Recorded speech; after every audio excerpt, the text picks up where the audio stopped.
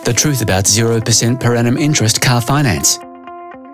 Many car dealerships offer 0% per annum interest car finance, which may sound like a great deal. But before signing up to any loan, there are a few things you should look out for. Although the loan is being advertised with a 0% per annum interest rate, the purchase price of the car may have been raised to compensate. Hence, negotiating a better price with the dealer may be out of the question. And these offers usually apply to certain models in a range. So if you have your heart set on a certain model, you may have to compromise to take up the 0% per annum offer. It's important to look out for additional clauses in the sale contract, like servicing the car regularly at the dealership to maintain the warranty these service costs may be higher than you'd pay at an independent mechanic.